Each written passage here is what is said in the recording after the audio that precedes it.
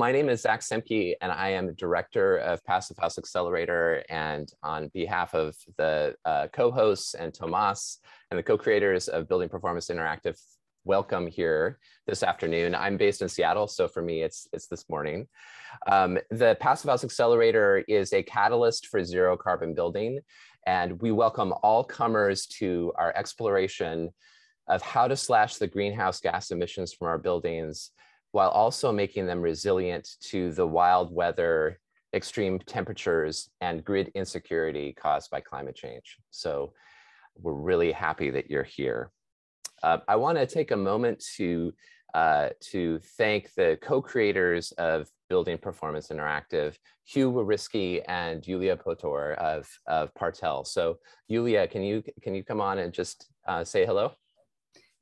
Hi, uh, hi everybody. Thanks for being here today and thanks Zach for the introduction. I have to admit that this would be a very inspirational series for the industry. It will bring together great experiences, buildings, progress, processes, and people. So I'm glad to be part of this project on behalf of the Partel team, uh, being involved in marketing and communication. Thank you, Zach. Thank you, Yulia. Uh, there's a lot of work and, and uh, background uh, work that went into making this happen. So we're really happy that you've been doing what you've been doing to make it all come to fruition. And first of all, all of us are so excited to have Tomas O'Leary here for this this inaugural episode. Uh, it, it, there's probably no other guest that that can do it but to kick this off better than Tomas. So we're going to be showing a video and then also having a, a, a short conversation with Tomas and, and the co-hosts. During that time, as questions occur to you, please pose them in the chat and I'll be tracking the the, the chat box the the the whole show and uh, tracking those questions. And in order that they those questions come in, I'll I'll be then inviting you to to come on screen and ask those questions. So um, please don't hesitate to, as things occur to you, to record them in the chat box. Uh, with that, it's time to introduce our co-hosts. So we have a great uh, trio of, of, passive house and high performance building experts here to uh, guide the show. Ben Adam Smith of Housing House Planning Help, Hugh Whiriskey of Partel, and Mike Jacob of Kiss House. So with that, uh, Ben, can you take it away? Yeah, yeah, it's fantastic to be here. Thank you very much. Yeah, my name is Ben Adam Smith. And about 10 years ago, I set up the website House Planning Help. The idea being that I was going to follow my own journey. I didn't work in construction, but I decided to build my own house. So I started a podcast. We're up to over 300 podcasts now. I've built my own house. I've been living in it for the last three years, passive house enjoying all the benefits. And I am well aware of how important building performance and also monitoring, knowing what you're getting is, which is why I was very happy to be part of this. Uh, I'm going to pass you on to Mike now. Thanks, Ben. Hi, everyone. My name is Mike Jacob, one of the co-founders of Kiss House. I've been involved in the Passive House community in the UK as an early adopter uh, since before the crash, um, with an, uh, an, initial attempt to become, uh, with others, one of the early passive house developers in the UK, and ever since have been committed to trying to scale up passive house, and that's what we're doing with Kiss House. We're bringing to market a repeatable passive house housing product, and off the back of that, we're innovating passive house and, and low energy product systems and materials that we hope to scale up and infiltrate the mainstream to, to make other houses better as well. Thanks, Hugh. Okay, thanks, uh, Mike. So yeah, my name is Hugh Whiriskey. Um, I'm a certified passive house designer. Um, call myself a passive house enthusiast, and I suppose I'm focused in the area of building physics. Um, I am the founder and a director at Partel. Uh, Partel is an Irish producer of sustainable, high quality air tightness, weather sealing, uh, structural thermal breaks, and we're also quite involved in ventilation systems. We're mainly active in Europe and North America. Um, so kind of on this series overall, I suppose we've been really keen for some time to develop this and to try, I suppose, help and accelerate the knowledge share, uh, to share different perspectives, you know, all with a view to speeding up the move to low carbon, better quality buildings. Uh, the BPI series will take us through best practices, lessons learned from some of the most experienced people in the industry. Um, so different systems, approaches, and different markets will all be presented.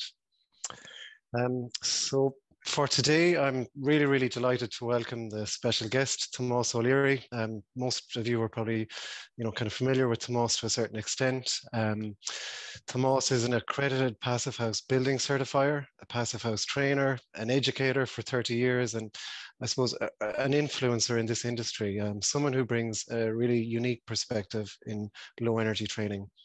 Um, Tomas's journey uh, dates back to 1993 with some you know, really impactful career highlights like um, Ireland's first passive house in 2005, um, the development and uh, acceleration of the provision of certified passive house training worldwide.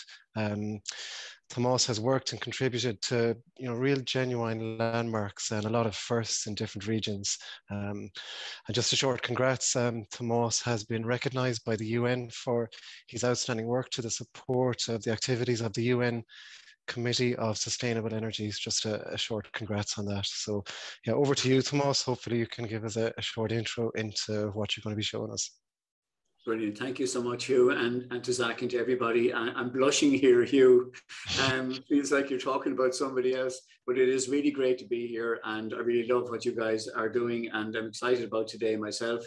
Um, yeah, I mean, as Hugh said, you know, we've been involved in Passive House for a long time. We've actually been involved in about 2 million square feet of Passive House projects. And a colleague of mine, um, from MosArt will put a link into a book. We just made a little flip book. Zach, you might be interested in that. He's going to put that in the chat towards the end so you can check out. If you want to see what 2 million square feet of passive house projects it looks like, check that out. But look, um, we're here today. So our firm MosArt, we do design work, consulting work and education. And there's an enormous uh, skills uh, gap globally for people who are trained up in high performance building in Ireland, in the UK, in, in the US. Uh, we simply don't have enough people to build new buildings and to retrofit the existing building stock. So we have to get really creative on how we can upskill people. And um, we've had some really, really good experiences internationally, but also here in Ireland. And you're going to see those uh, today. We developed two training centres. Uh, sorry, we've, we've helped to develop two training centres, one by Waterford and Wexford Education and Training Board, and another by the Laois Offaly Education and Training Board. So the video is going to show you a tour of those centres.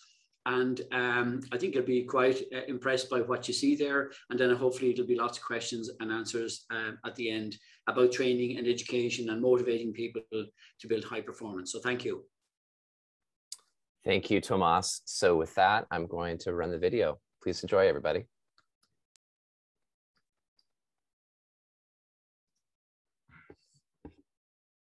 Welcome to this video showcasing innovation in high performance building in Ireland. We're going to kick off with an overview of an excellent contractor training centre in the southeast of the country in a town called Enniscorthy. Good afternoon. My name is Michael O'Brien. I'm the Innovation and Development Manager with Waterford and Wexford Education and Training Board. We took, uh, we went, attended a number of, of uh, conferences in 2017, I believe, and it became obvious to us that there was a need for training in this high performance house area. We set about, uh, as we would normally do, uh, taking a program that already exists and rolling it out. We very quickly realized that not only was there no programs in place, there, was, there wasn't even a set of learning outcomes associated with any of the, the related high performance areas for the trades or anything else really. Welcome to WWETB's NZEB Training Centre in Enniscorthy in County Wexford. WWETB have assembled really what I think is the perfect training centre here for contractors and for designers and specifiers to learn about high performance buildings. So any training center, of course, uh, is going to start off with a classroom, which you can see here. And um, it's very important that, you know, it's not just death by PowerPoint. Theory is very important, of course, and it's very important that we teach people not only um, how to do something, but also why to do it, okay? So when we're finished with the PowerPoint in the classroom, we'll bring it over to this bad boy here, which is our uh, little house here, where we're demonstrating all of the air tightness technology. Look at this for a training uh, facility. It's amazing. Different membranes, different tapes, different solutions. We've even got a fan here that we can turn on and create a 50 Pascal pressure difference between inside and outside. We close the door, obviously. And then people can actually sense, a lot of people haven't seen a blower door test and haven't sort of experienced that. So again, this is a big hit on the training programs. Let me walk you out here and we see what else we have in store.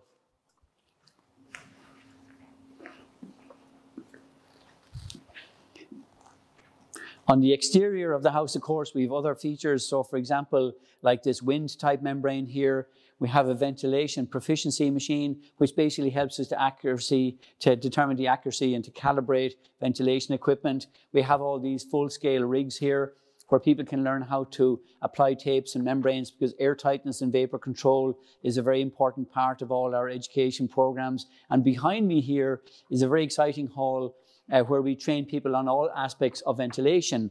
So we have five different ventilation bays here where people can see um, different types of ventilation systems, right from mechanical ventilation with heat recovery down to natural ventilation with intermittent extract, ventila- inter- intermittent extract ventilation. Um, different types of ducts, different types of plenums and valves and so forth.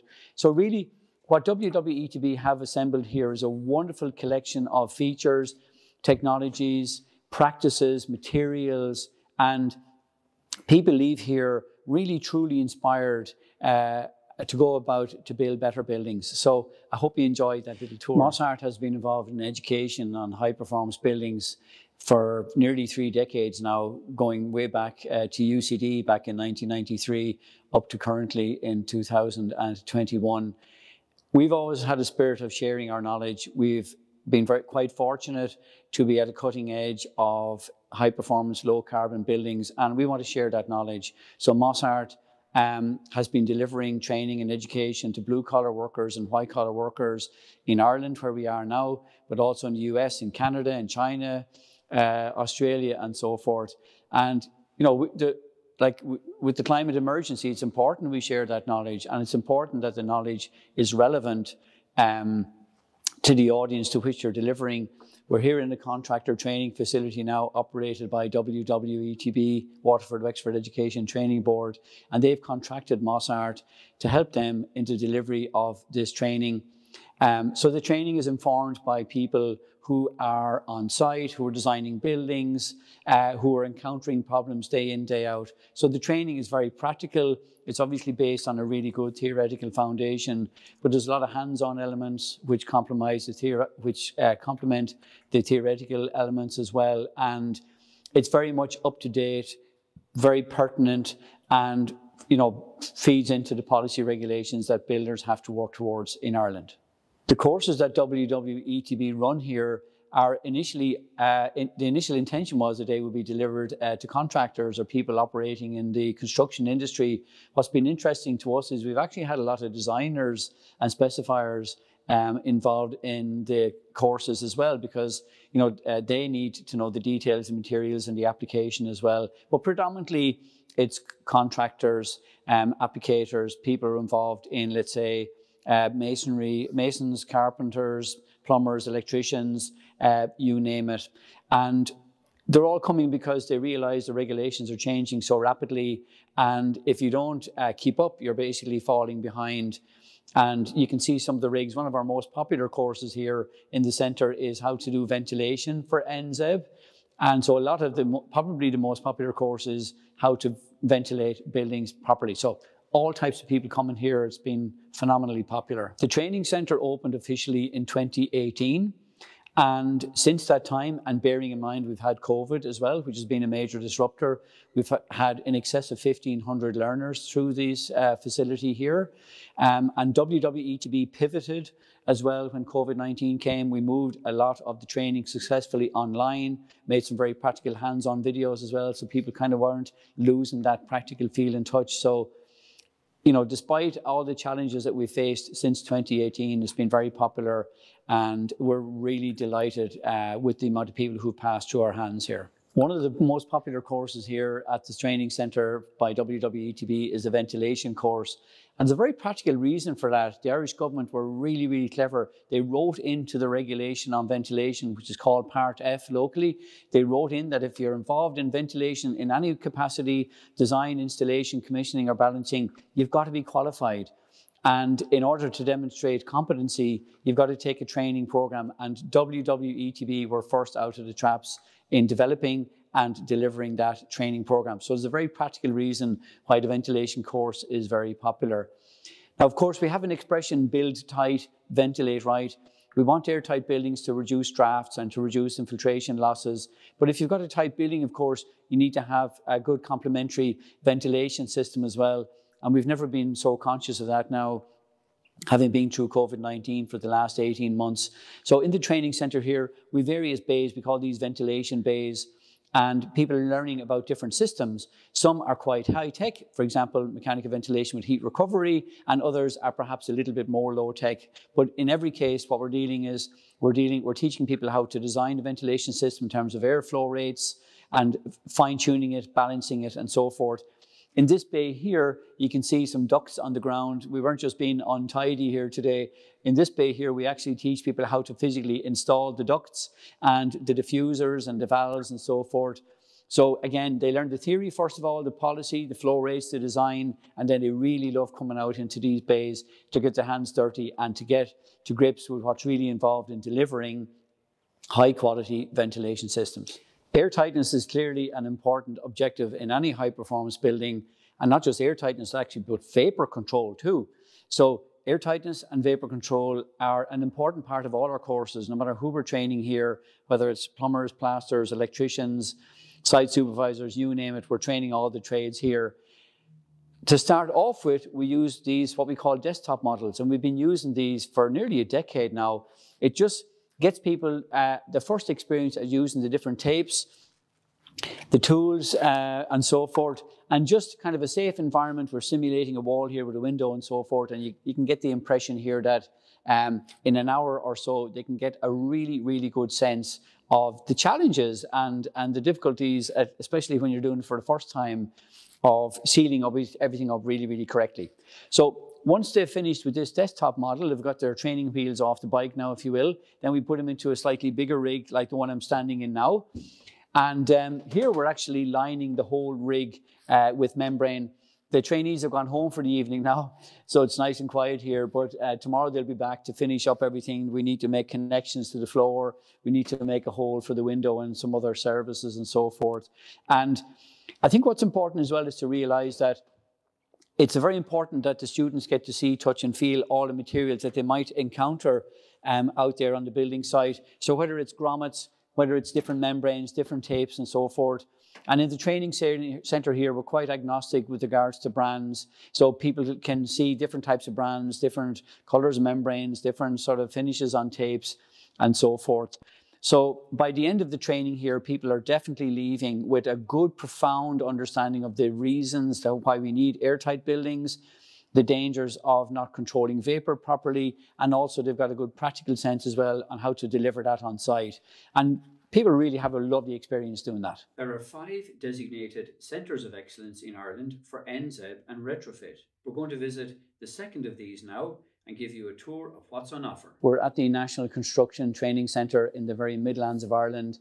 This is a great facility recently set up by the Laois Offaly Education and Training Board, and they run any amount of courses here for new build and for retrofit, high performance building with a big focus on NZEB. Now, a big part of NZEB, of course, is dealing with air tightness and vapor control. And a lot of people aren't familiar with the materials, the tapes, the membranes, the grommets, all of these type of things. So when people come here to do some training, like our two learners behind us here, it's very much hands-on experience. They're dealing with all the tricky junctions, floor to wall, wall to ceiling, wall to wall, wall to window, service penetrations, attic hatches, windows, you name it.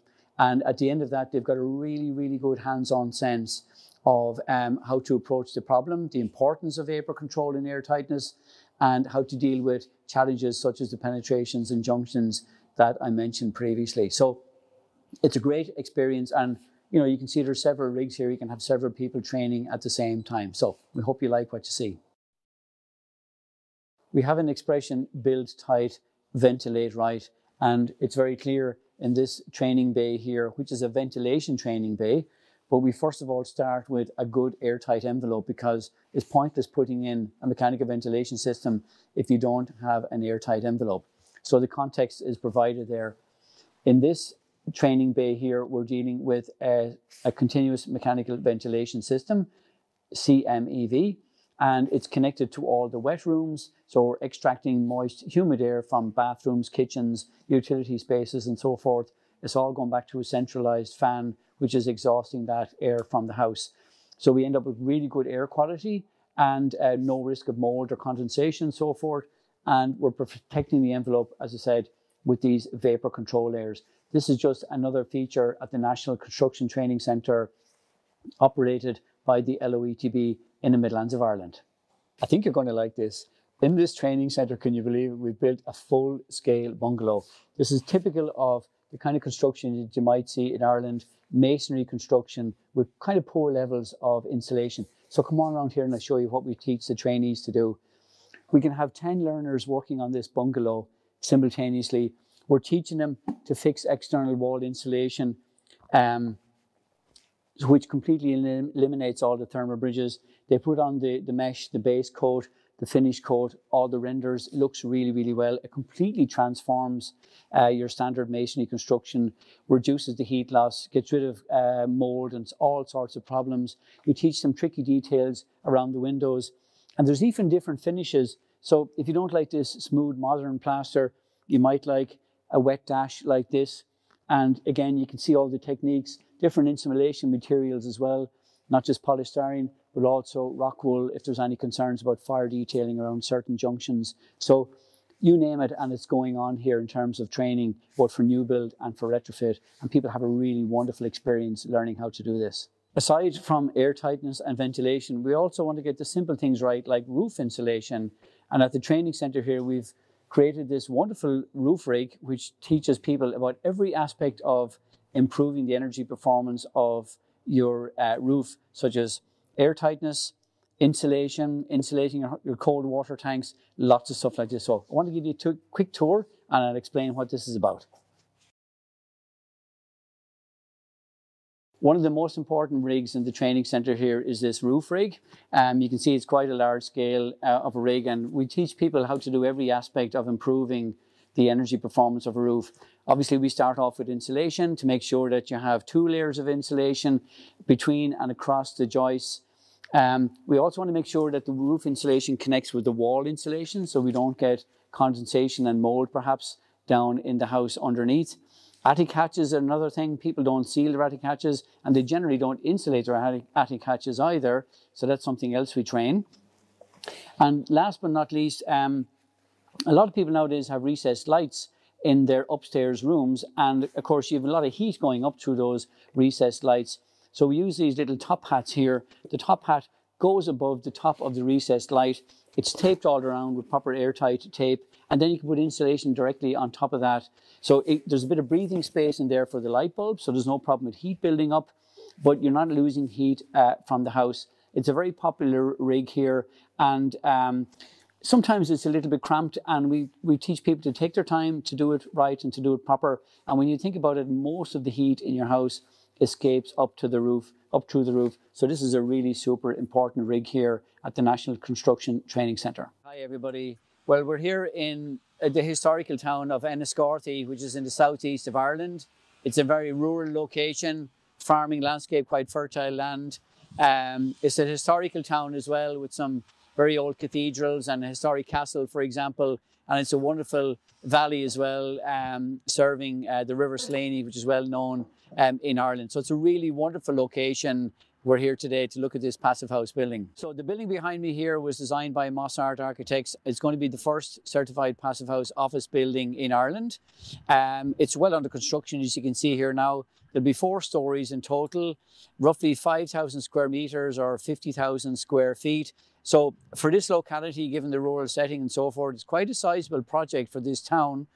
Um, in terms of occupancy, we can easily accommodate uh, 500 people in this building. So we're hoping the intention is that it will be a, a really good resource for the town in terms of a, a place to work which is comfortable and healthy, good indoor air quality, and also low energy. So thinking about the structure itself and the building fabric, um, there's a big discussion going on right now about operational energy, which Passive House is really good for, and embodied energy, uh, which you know is a big discussion point now, as I said, and a lot of people are getting concerned about well, not only what, how much energy does it take to run a building, but how much energy does it take to make the elements that go into a building. So behind me here, um, you can see the steel structure is well underway, um, and we can think about the embodied uh, carbon in steel manufacturing. To go around that then, the envelope wrap is actually going to be a timber frame or wood frame construction um, clad in OSB and the OSB boards will be taped up in terms of air tightness. Um, and then the insulation product we're using, we're quite uh, delighted with that too. We're going to use a cellulose insulation. Cellulose um, is made from recycled paper, so it's very low embodied energy, has good thermal mass, has got a really lot of good properties.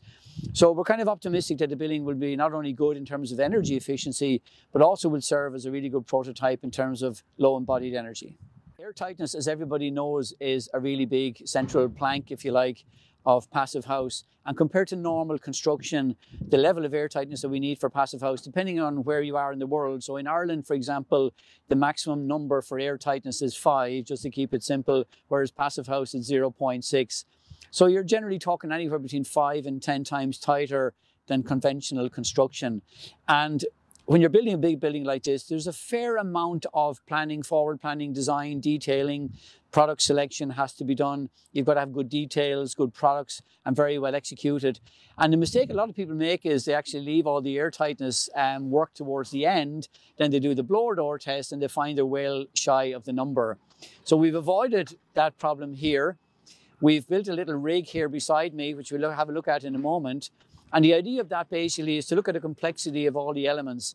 We've got the walls, we've got roofs, we've got parapets, all the sort of junctions, and even we've got sandwich panels here of insulation and where they butt together.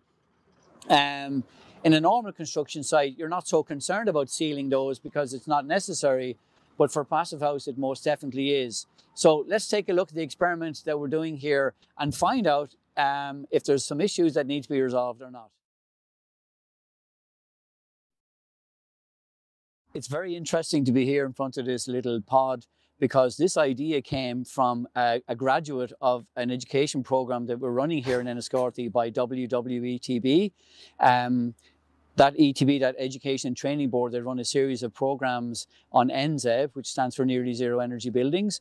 And one of the first people to take that training it happens to be the foreman uh, on this project here. And it was really gratifying to us that um, uh, he was obviously influenced by the training he undertook and could see the importance of doing something like this pod here. In other words, not leaving it to chance till the end, but actually working out the details, the materials, the application, the execution, and all of that in advance. So hats off to Michael Bennett and Sons uh, building contractors who not only had the foresight to take the training, but then could sort of connect the dots and apply the training here into this pod. So for any passive house building, no matter what the shape and size and scale, whether it's retrofit or new build, it's all about the junctions and the penetrations. And maybe a good concept is like a submarine. So we're basically building this enclosed uh, building. It'll have its own ventilation system, of course, so we'll talk about air quality maybe another time. But essentially everything has to be buttoned up. So the, the floor has to be connected to the wall, the wall has to be connected to the roof, all the windows have to be connected to the wall, and you can't leave anything to chance. It's like having a slit in a bucket. If there's a slit in a bucket, eventually all the water will pour out. So the tricky details we're finding on this is where basically is along the roof because the walls are actually convenient enough, um, but the the roof junctions and where, as I say, where these panels go together, that's what we're finding uh, particularly tricky on this project. So we've ran the blower door, it's running at 50 Pascal, we've a smoke pellet inside, and remember passive house is anything between five and 10 times tighter than normal construction.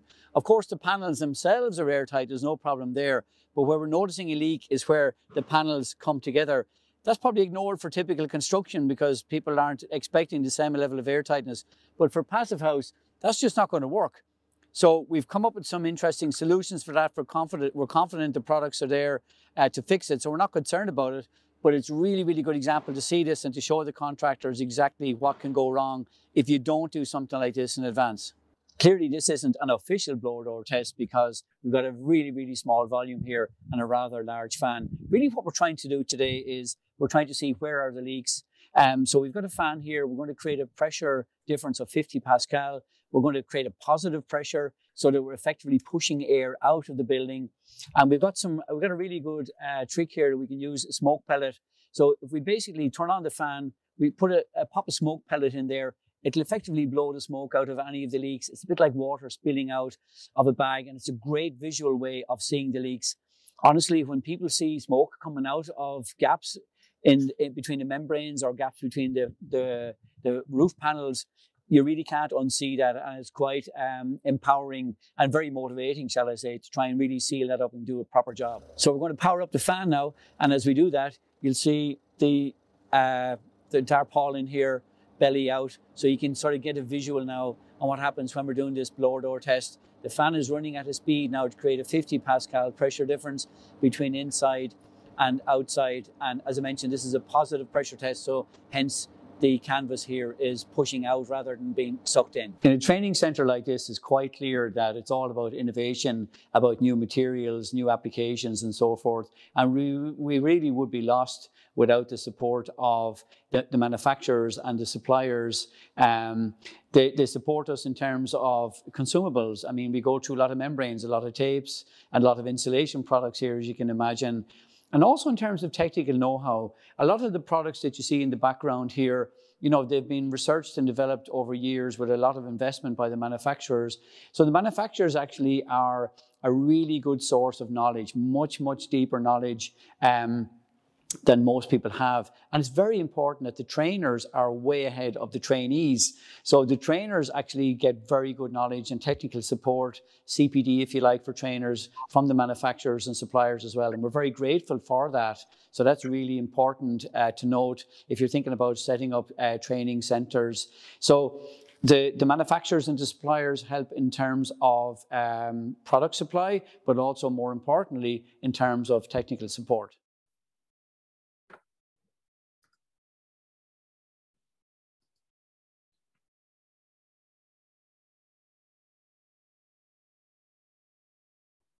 Wow.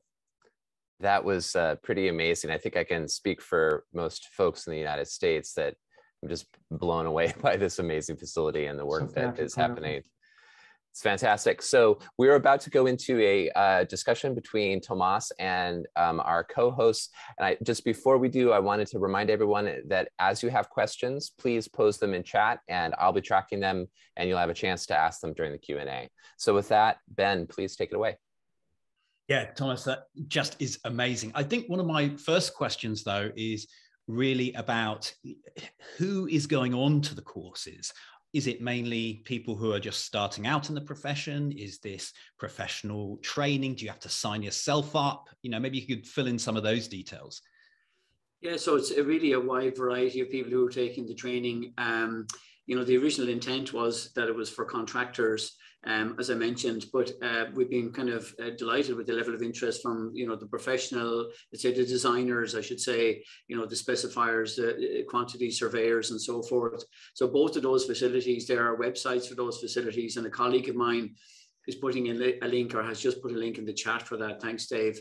Um, so um, one of the big uh, struggles we have, Ben, is um, if you think about a construction project, right?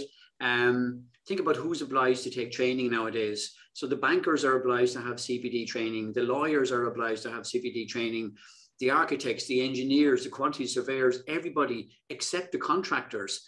And this is a real concern of mine um, that, you know, at least how it is in Ireland and I think in the UK as well, there's no legal obligation on contractors to take continuing education. And um, the Irish government is about to bring in a, a, law. It's actually in the Houses of Parliament at the moment, um, whereby every person involved in construction, even down to a one-man band or a one-woman band, um, has to has to join the Construction Industry Register of Ireland. And when you're a member of that, you're obliged to take continuing education every year. So this is going to be a, a seismic uh, game changer in Ireland, and I think it's going to be the way to come because You know, remember 40% of carbon emissions globally are from buildings. So, I mean, we've got really to up our game here. And the best way to up our game is to get training and to get inspired. So, we've got to get the contractors into the training centers. Yeah, I'll just ask one more question. I know um, Hugh and Mike are keen to come in as well. I'll come to them in a sec. But just in terms of um, what you're doing there, you're a long way ahead of where we are in England, and it sounds like the States as well. You know, so very impressive. But are your most of your buildings high performance buildings? Is that where most people are aiming, or could someone who's building just a building regs be going through this center as well? Yeah, hundred percent. I mean, we call these centers. Uh, it, my my nickname for these is inspiration centers rather than training centers. So, um, and what we mean by that is like we've had couples in their sort of seventies and eighties who are about to face into a retrofit project. You know, and they're googling, you know, retrofit my house, and you know, if you Google retrofit my house, your laptop will blow up. You know, so many choices and so many people, you know, flogging materials. So they come along to get the sort of inside story, to learn the terminology, to watch out for the key trip hazards. So that's just one example of the kind of people that we get coming uh, to the training. So some people are just looking to do a modest retrofit. Other people, we had a very big uh, household name contractor in our training center recently, and um, they're about to start construction on a very large um, passive house project, and they want you know to get up to speed and all that. So it's basically everything from the very big contractors right down to the couples who are retired and trying to improve their comfort. And like, like so you, you can sort of you can you can adopt all the principles or you can just take a piece. That's totally up to the people who take the training. Hugh, what's your, your question? What's on your mind having watched all of that? Yeah, I've got a hard one for Tomas to start. Um, sorry, Tomas. Something I've been thinking about, I guess, Tomas. I suppose I had the benefit of attending some of your really early um, PH introductory courses. Um, and I've been thinking about it since your approach um, back then. It was very different from the norm. You know, um, what you were promoting was completely different from what was going on in real construction. Mm-hmm. Um, but I think kind of what I took from it at the time was maybe your passion and your energy kind of during it. And I'm, I guess what I'm wondering is what made you change so much um, that you kind of became, you know, somebody who could go into that room and convince so many people that that was the right thing to do. Yeah, um, gosh, that's a that's a that's a tricky one. All right. Well, I, I, can I can I can I I know exactly how I ended up in this situation. So when we first got involved in Passive House, you know, we were bringing in trainers from abroad. Um, English wasn't their first language, and they were very very deep in the topic, so deep in the topic that in fact, there was a bit of um, this uh, disconnect between what they were delivering and what the learners were receiving. And I could see on the feedback forms that people are saying, you know, these people have so much knowledge, but you know, they went off on a tangent and I sort of got lost halfway along.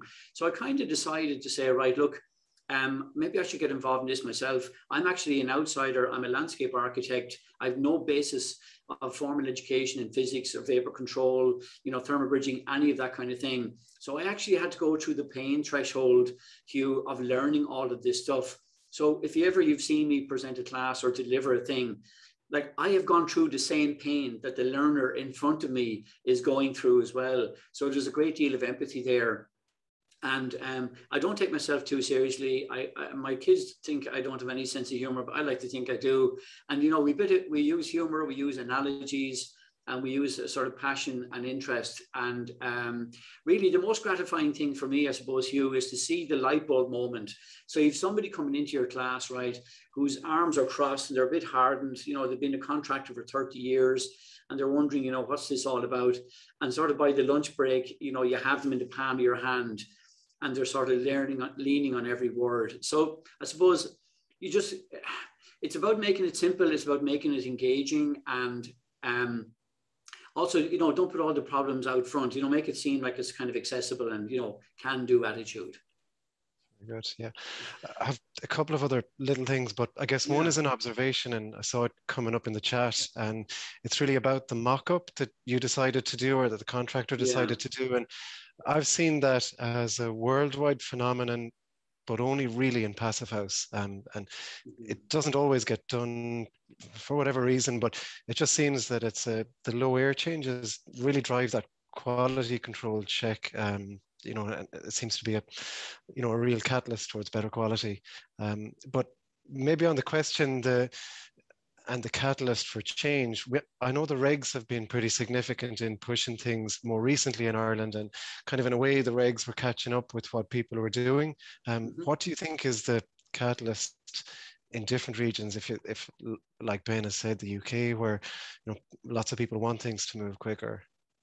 Well, if you take if you take air tightness for example, passive house requires zero point six in Ireland, you can go you, uh, in the Republic of Ireland. You can you know you're required to be under five, and in the UK, believe it or not, uh, you, are allowed to be ten. You know, so there's an like like I can I can uh, I can I can you know. travel 100 kilometers from where I'm standing now, and there's enormous variation in building regulations. Um, so I think honestly, I think the policy people, the people who write policies, have to be braver. You know, we can't stop procrastinating and leaving it for the next government, you know, to come in and, and grasp that nettle. You know, like we all have, I mean, we are living through uh, climate change. In Ireland, um, it hasn't got cold yet. It's 16 degrees today and it's almost November. This is absolutely unheard of. Um, I was at a funeral during the summer, and three people, you know, just in casual conversation, says, "God, if it keeps getting this warm in Ireland, we're going to start need air conditioning." Can you imagine people think of now we're going to need air conditioning in Ireland? Yeah. So I like policy, pe- policy. The people who write the policies, um, they've got to be braver. They've got to be bolder, um, because future generations won't thank them. And I think one last thing to say, Hugh, the Irish uh, policy writers, I, I have to compliment them. They they put their money where their mouth is, and um, they really have stepped up to the plate. And hopefully, that could be inspiring to others as well. Thanks, Tomas. I, I could probably stay asking you questions, but I'd say Mike has a few things he'd like to pick up.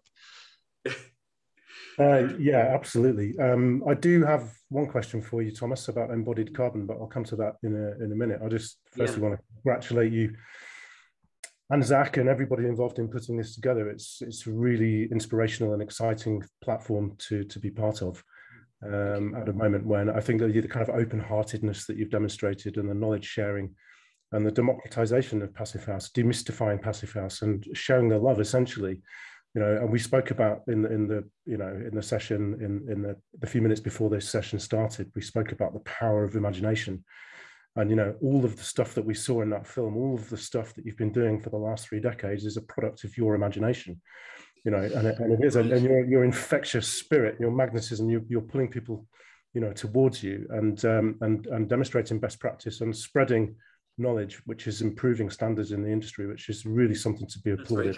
Thank you. I mean that, and I, and I think you know addressing what is essentially you know uh, one of there, there are many gaps. There's a performance gap, you know, there's a skills gap, there's an implementation gap, you know, but but addressing that weak link in the chain. It doesn't matter how good something is on paper, how great uh, uh, the products are that have been specified, or how clever a design is. It always comes down to a guy or girl on site or, or a facility somewhere that's got to physically create something that represents that design or uses those products. And it's the weak link in the chain is how those things are actually installed put together, how they're handled. You know, a good product installed badly is a waste of time and money, and and you're addressing that um, that skills gap. And also, I guess there's an issue of um, uh, the kind of the pride that people feel in the work that they do, which you're addressing as well. Which all of which is I thoroughly congratulate you. It's really inspirational. Oh, and the question question was um, it relates to um, the multi-story um, steel frame building that where, where, you mentioned embodied carbon. Um, I just wanted to ask you whether it's a, a, tricky question or not. I don't know, but is there a cost driver uh, underlying the uh, choice to use a steel frame on that structure, or did it actually turn out to be better in the calculations or in the analysis anyway? Um, so I suppose uh, big picture, first of all, Mike, I mean, we've been involved in Passive House for a very long time.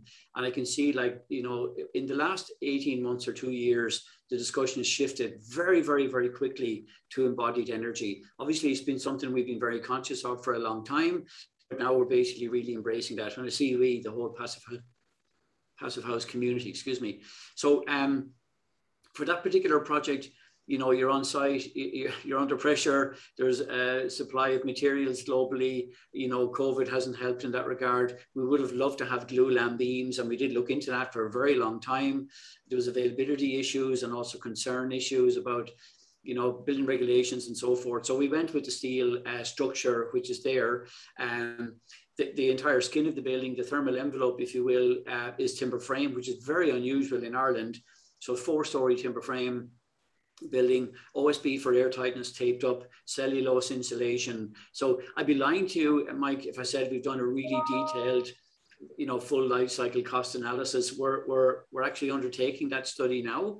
The windows are made in the, in the, in the town, interestingly enough, uh, which is kind of unusual. So triple glazed passive house windows made locally. So um, I suppose full disclosure, we're really, this is our first toe in the water of merging passive house with low embodied energy. And it's been very exciting so far, but it's not without its challenges.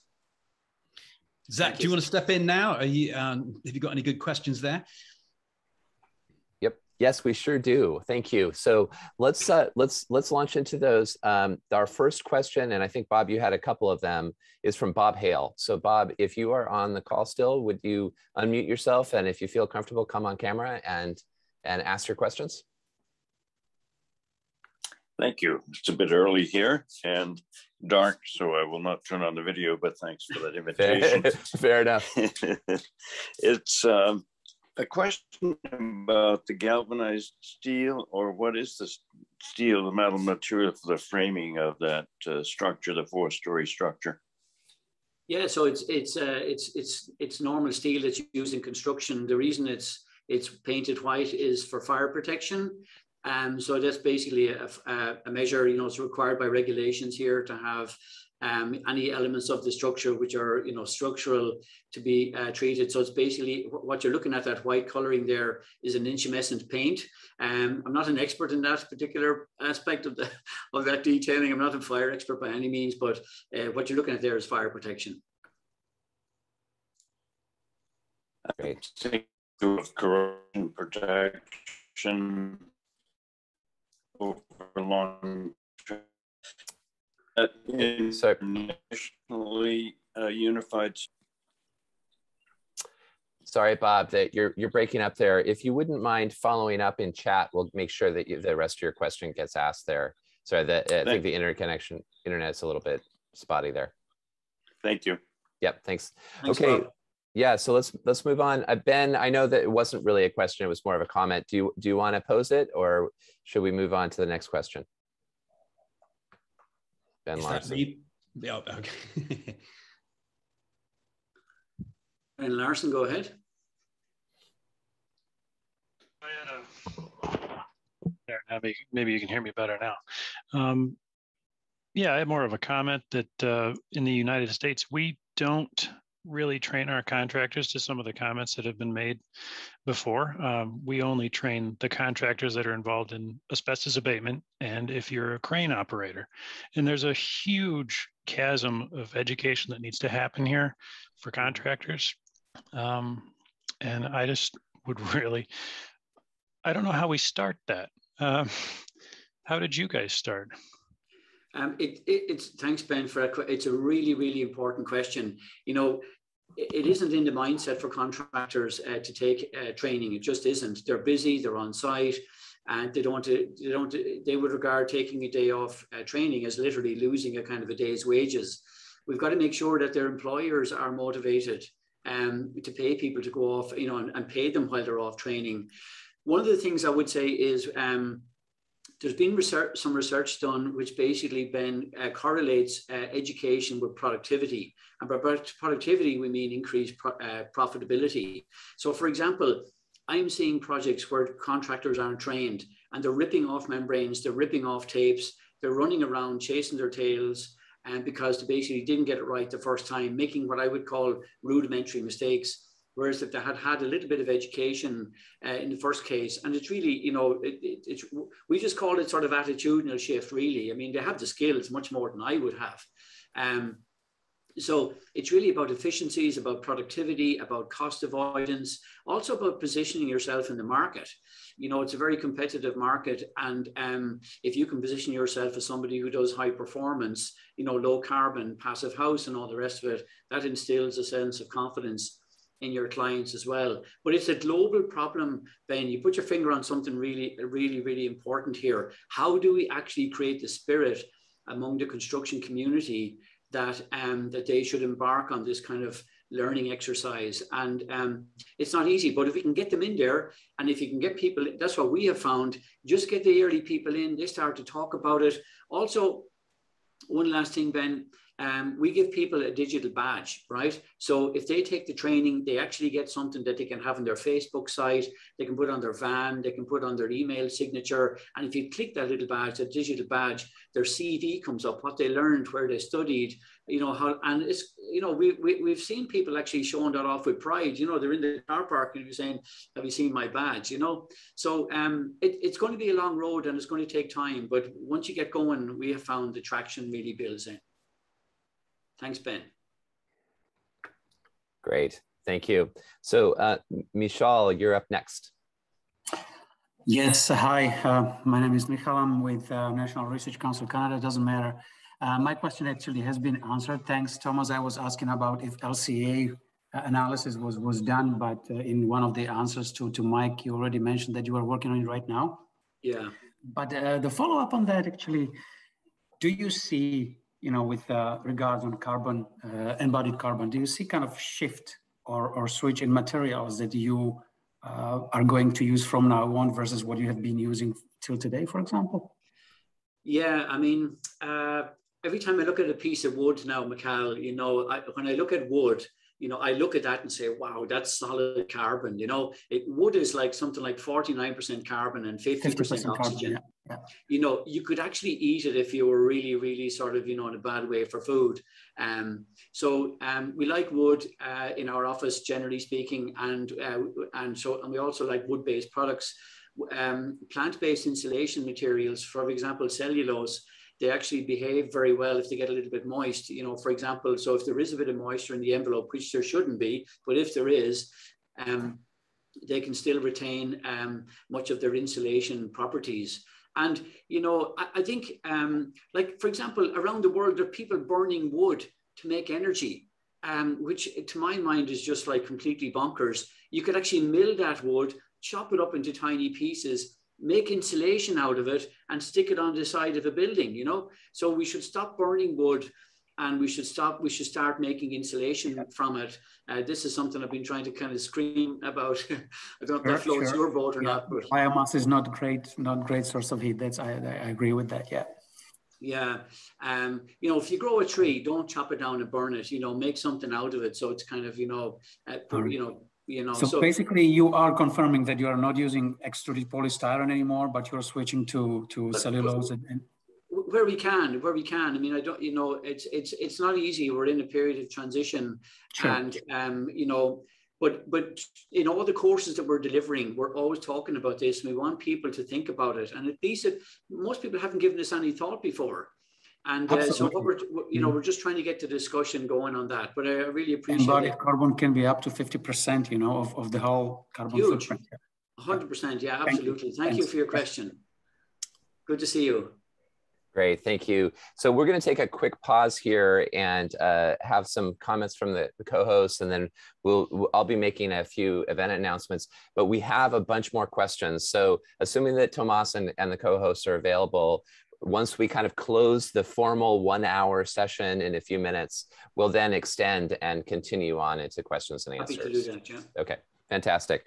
So um, let's let's move into the, some thoughts from the co-hosts. Well, I'll kick off, and uh, I just think it's fantastic what you're doing. I've still got some other questions up my sleeve, but I'll, I'll keep them there for now. And, and one of them will be how we continue this work and how easy it is in inverted commas to um, get this training to people. And whether if you build them they will come. You know if you've got more of these centers around the world um, I, well let's hope they're they're on the way that then they fill up and we can expand more quickly as everything that uh, passive house accelerator is doing. So well done thomas. Keep up the good yeah. work. Thanks ben. Thank you yeah, I just want to say that it's a very interesting moment in time. You know, yesterday we saw the launch of Built by Nature, um, a, a European-wide, to begin with, organisation to accelerate uh, the use of timber in the built environment.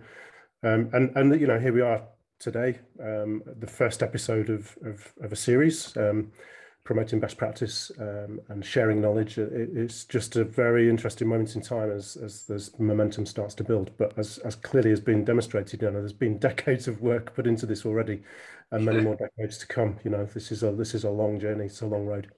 It's good to be part of it. Thanks, Mike. Yes, from from my side, I guess the the training side of things is really interesting, and the I guess where that can go, and I guess we're all hopeful that that will start to be brought back towards the colleges that train both the trades and the, I suppose the professionals as well, that they all get an experience with, um, you know, with these necessary skills and how they, the next generation, brings them into construction. Thanks, you. Appreciate that. Awesome. Nice.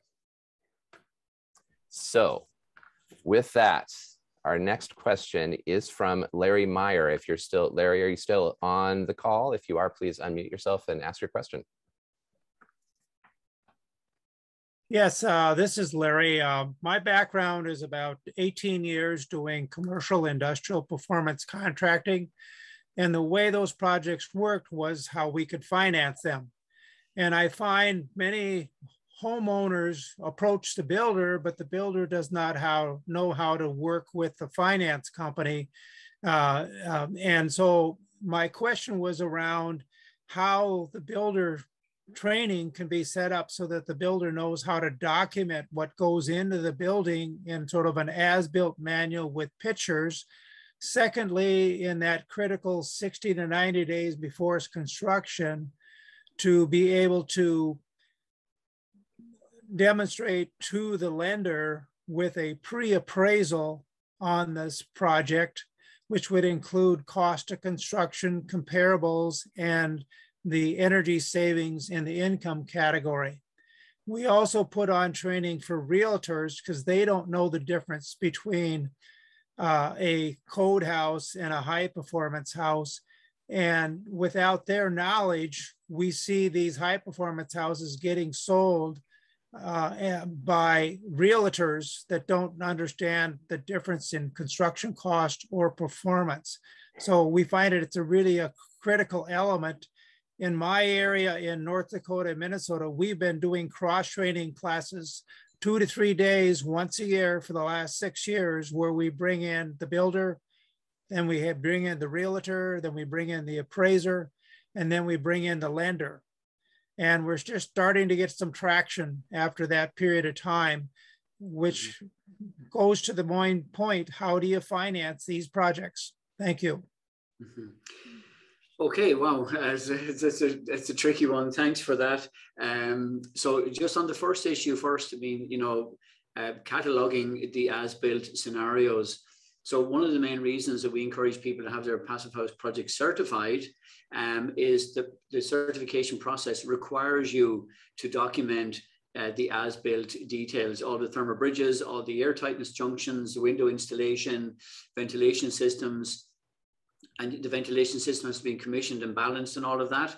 So baked into uh, the the process is this kind of you know um, recording and documentation. So that's you know if you go passive house, you sort of get that you know as part of the process on your question about you know financiers and realtors um, uh, on our side of the pond here and it, it, it's it's you know this is i think going to be a, glo- a global movement um, essentially the banks are now clambering over each other to offer lower mortgages for higher performance buildings because they see it as a good risk um, they essentially uh, see that you know well if i invest you know a couple of hundred if i loan a couple of hundred thousand dollars to this family and they're building a building which is of high performance, you know, the, the, chances are they're going to have more disposable income to pay back the mortgage because they'll be spending less on energy. So I see it, it so honestly, three or four years ago, I would have been maybe a little bit cynical on the bank's knowledge level and awareness and appreciation here. But at least we're seeing the national banks in Ireland and the same in the UK. I see something in the chat there about that, that they are really starting to get this. And they need to anyway, because um, you know, they need to invest in and they need to demonstrate, um, you know, uh, smart investment of, of resources. So um, I appreciate that's not the case everywhere, and uh, in you know maybe in your part of the world that's more more challenging. But we definitely have to educate the realtors, the bank, the, you know the, the, the financiers and the bankers. But you know that change is coming rapidly. We're seeing it here already. Well, uh, the one follow up comment is that uh, in America, the financial institutions are all independent. Very little mm-hmm. national direction is happening. Yeah. And there's a large disparity in energy costs. Uh, I'm in an area where energy costs are one third of where they are in the UK and Germany.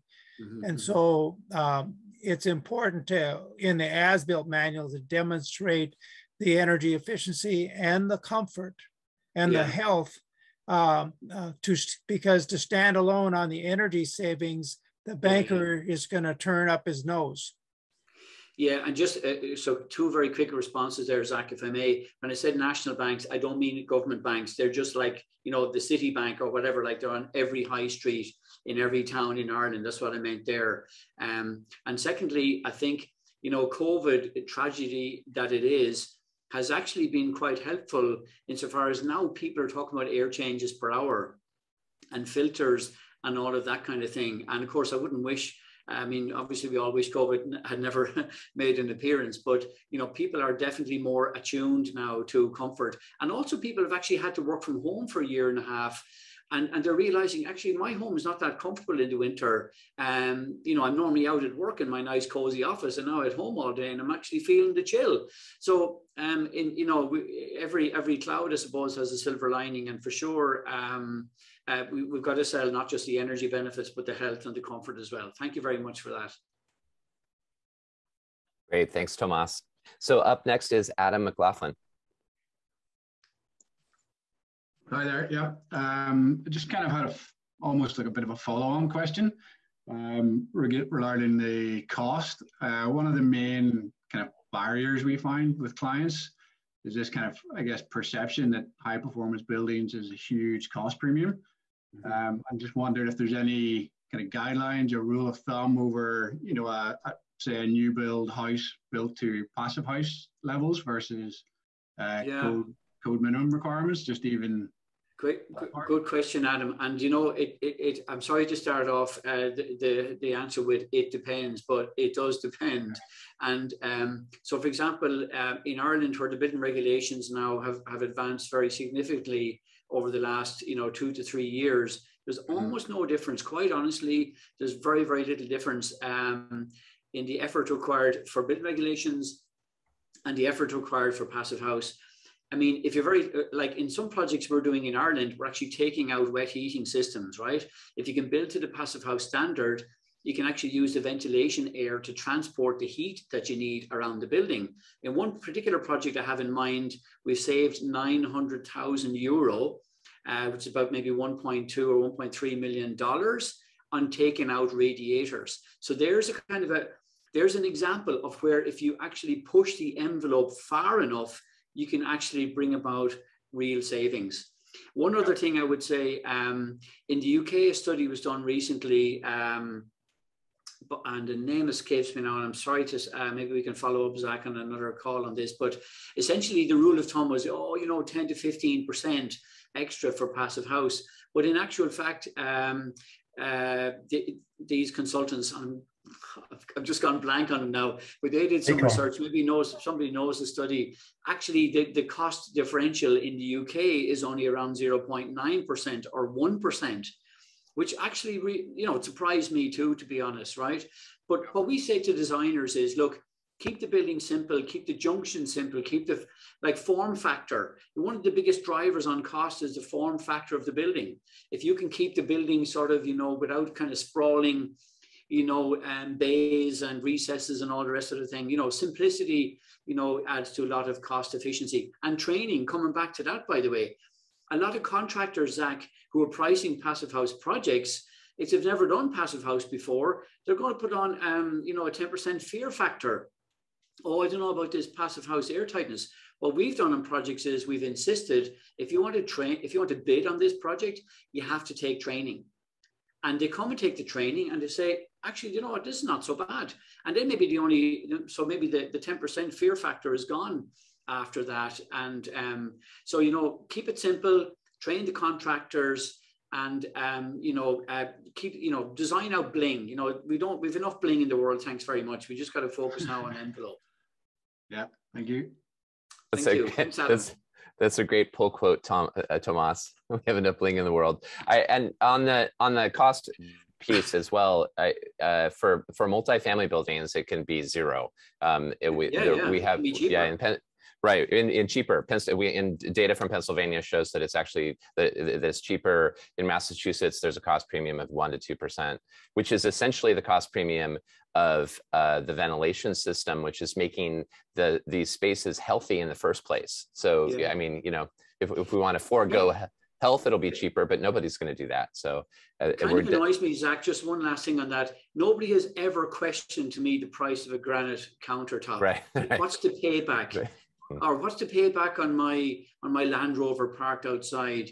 You know, what's the payback on you know a television? You know, that's big enough. You know, for whatever. Like the thing is, there's a prejudice here, and it comes back to this, Zach. People do not value you know, uh, energy saving measures. They just see that as kind of, you know, a burden. Why would I pay for that? You ask your kids, hey, kids, what's more important, a granite countertop or really good comfort and indoor air quality? End of discussion. So, you know, we've, we've got to sort of man up here, or, and it is normally a problem with men, let's be honest. You know, we've, we've got to actually sort of face facts here. You know, we've got to, you know, we've got to place, place value on what's valuable. Well said. Thanks, Tomas. Okay, so next up is Woman An- Somebody Woman up. said yeah. woman up. Yeah, well, Love it.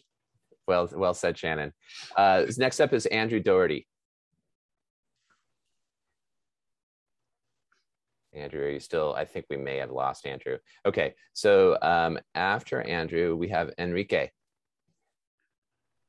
Enrique, that's a lovely name. Yes, Enrique, are you still on the call? Yep, thank you. Great. Uh, uh, Thomas, uh, I am with uh, Vermont Passive House here. You're very familiar with this area because you have Wonderful. been teaching here many of the certified Passive House uh, designers who are probably your students. So um, um, we have we are right now in the process of developing a workforce uh, uh, training program. Mhm. And the legislature has assigned already $2 million for that. So I wonder if uh, it, uh, you would be interested in doing some kind of coaching to that because I, nobody is uh, is uh, prepared here for really training, and part of the curriculum is going to be building science and uh, all this. I mean, all what you're doing there in Ireland. Yeah. So uh, I wonder if uh, there could be any possibility for you to do some uh, kind of coaching into this program. Yeah, absolutely, Enrique. I, I think I said at the introduction there, um, we were uh, heavily involved in training centers in the Bronx, in Beijing, in China, in Melbourne, Australia, um, you know, um, several locations in Ireland. And, you know, every time we do a new training center, it gets better because you learn from the mistakes in the past, if you know what I mean. And um, for example, just one, uh, one, one thing is, you know, the, the air tightness house that we showed you in the video there, we're now actually starting to consider, wouldn't it be clever actually if that was one of the classrooms in the training center? So it's not just a thing that you're walking around and enjoy for a half an hour, but you're actually deeply immersed in that for your whole day. So, um, yeah, I mean, in terms of curriculum development, we can help with that. Uh, you know, everything has to have a strong foundation in building physics.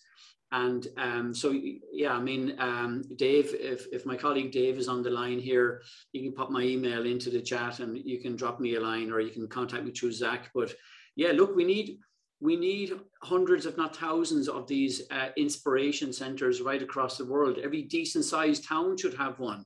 They don't take a lot of space. And um, and you know it, it'll be a great way of sort of moving the market. So well done, Enrique, and the very best to look on your project.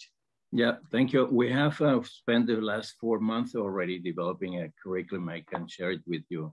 But Yeah, we'd it's, be delighted to it looks it. very nice on the paper, on the paper, but I don't think we are prepared to do it in, Well, one- in one- action. One more thing I should say, Enrique, and this is really important, Zach, I think generally for anybody listening in, um, you've got to make the training uh, locally relevant, right? So, for example, the construction system, the climate, you know, uh, the availability of materials, um, you know, um, cold climate, humid climate, masonry construction, stick frame construction, whatever it is, is it new build, is it retrofit, is it commercial, is it residential?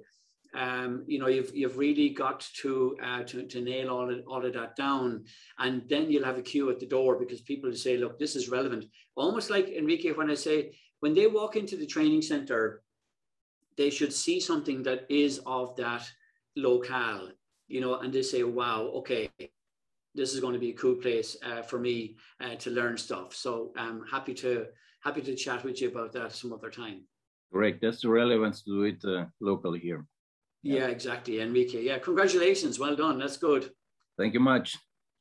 Thank you. Thanks, Thanks Enrique.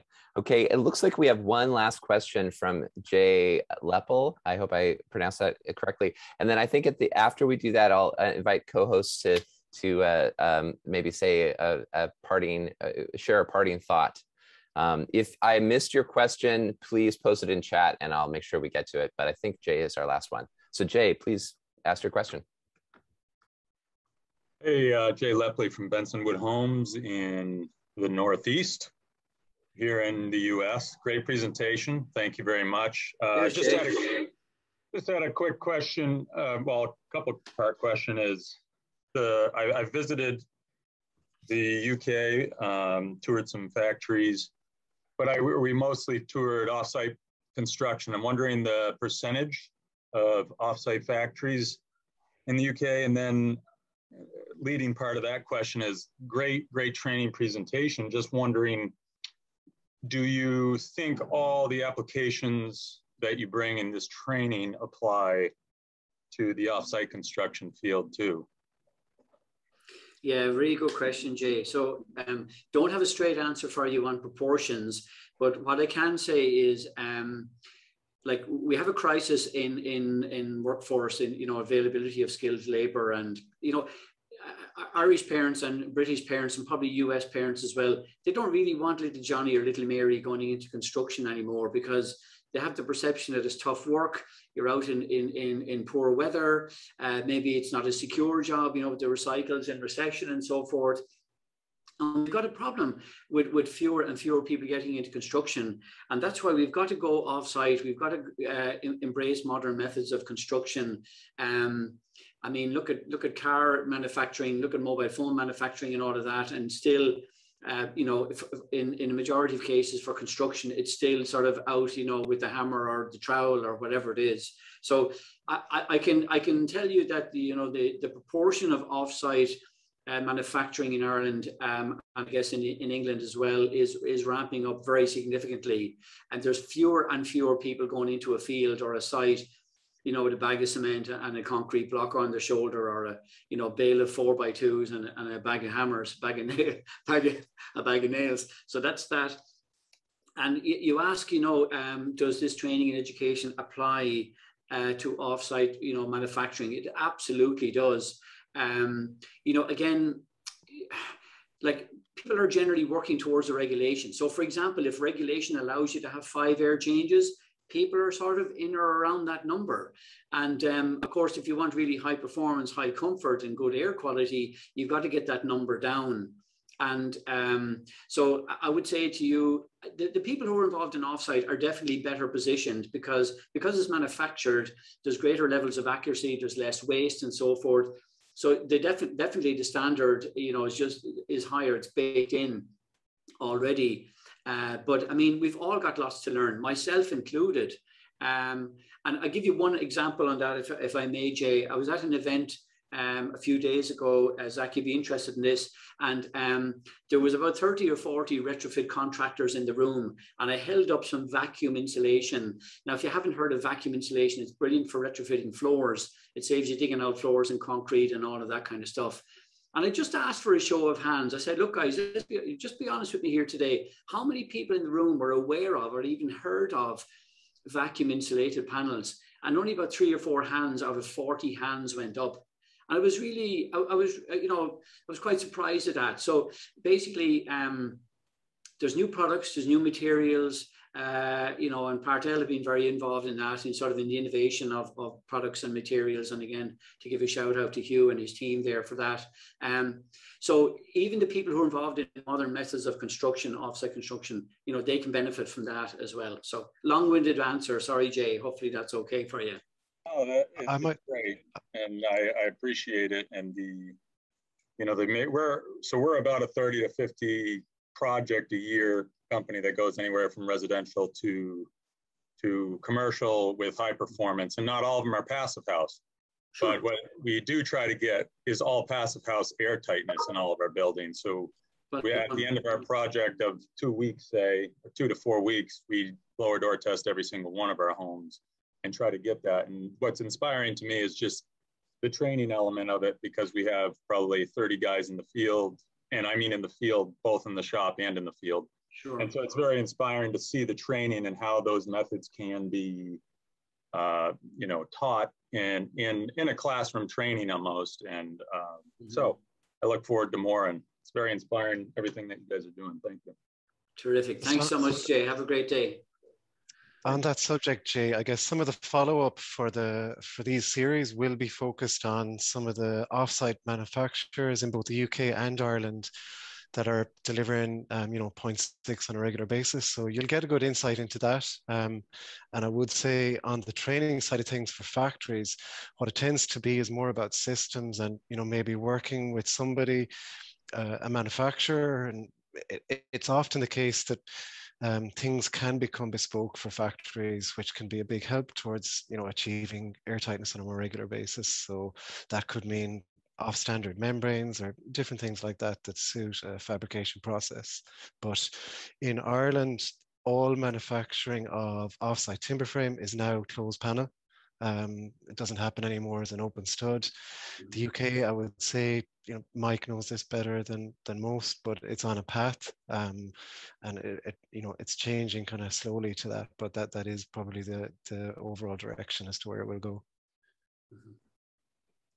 Yeah, great to hear. Thanks, guys. Great. Thanks, Jay. Thanks, Tomas. So, uh, Hugh and and Ben and Mike, what what uh, what final thoughts do you have to share with everybody? Well, I'll kick off. Um, I, I, think one of the things that's underlying for me is some sort of qualification. Uh, in I don't know where these apply, but certainly in the UK, you don't need any qualifications whatsoever to become a builder. So I can go out there tomorrow, start up my building firm, and and I'm in. So um, this is you know this sort of training is fantastic. And the other thing that it's made me think about, and Thomas mentioned it right at the end, you know, the regulations. Unfortunately, people will always build to what is the lowest regulation if they possibly can. So we need to increase those. And also, we as clients, customers, people buying buildings need to demand more. So those are the key takeaways that I've had. Uh, what about you, Mike? Yeah. Um, firstly, I just want to thank everybody who's still here in the, in this extended session. So it's great so many people have, have remained. Um, and what a great session. I think the two the two points really that I just wanted to make, one was in relation to the last question from Jay about offsite. Um, I think yeah, yes, there is a certainly there's a there's a there's a trend towards offsites. Um, uh, you know, be that modular, panelized, or, or, or looking ahead towards the more component-based supply chain and sub-assemblies and so on, all of that stuff still has to be brought together on site. So it doesn't matter what quality control there is in a factory and how, and how good that is. Good point. Somebody still has to connect a panel to a panel or a module to a module or install a component correctly. That still has to happen. That issue doesn't go away. So everything that Thomas is doing is directly transferable. And if, if anything, the need is greater, I would say. Um, uh, so, so that was just my observation on that. And then the other point that stood out to me was in res with respect to, um, you know, this kind of pinch point of, you know, what are these buildings worth? Uh, you know, do they cost more or less or the same to build as, as, as a code house or building works house or building? Uh, you know, and the, the, point is that I kind of think I, I agree with what Thomas said. You know, people on the one hand, ideally would be prepared to pay more for something that was better in the same way that they are for I think the example you gave was a Land Rover, you know. But having said that, it would be great if things that were better didn't cost more, you know. But and there's there's no there's no clear winner there. I, th- I think you know in, in, both cases there's a logic, um, but I would stress that you know my personal my personal uh, feelings on this are that whatever happens, I just desperately hope that it isn't the contractors that continue to be bashed and squeezed and expected to make things work financially. You know, that's that's that's the norm. That's what always ends up happening. Is people want things to cost less or be delivered for the lowest possible price and expect contractors to work miracles. And usually, a lot of these guys go out of business on these jobs. You know, year in year out. You know, it's a dreadful, dreadful state of affairs.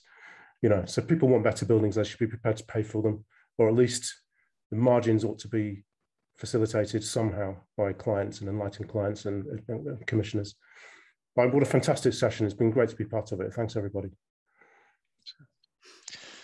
Thanks, Mike. Um, yeah, so for me, big thanks to, to Zach and everyone at the Accelerator, to Ulia for all of the hard work, to everyone for attending, and obviously to Tomas. Um, I guess the takeaway for me here is that um, it's really interesting to see that everyone is kind of gravitating towards embodied carbon and that is for me the that's where we the, the thing we need to be all talking about and it, that's going to change really quickly i'm seeing um, funds that are building houses be more aware of their social responsibility with regard to embodied carbon and I've never kind of seen something change that quickly in the industry. So uh, yeah, I think the the quicker we can get to grips with that, the better. Um, so yeah, overall, thanks to all.